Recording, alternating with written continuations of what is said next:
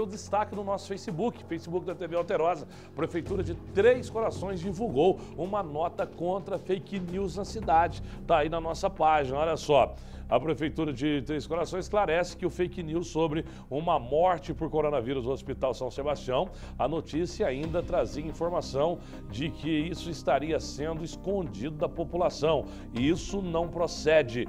Todos os casos, segundo a Prefeitura, eh, relacionados à pandemia são divulgados diariamente pela Secretaria Municipal de Saúde. Então, ó, isso aqui era um fake news vagabundos fazendo fake news neste momento. Quem faz isso é criminoso e se a polícia, logicamente, souber quem é, o cara vai pro pau.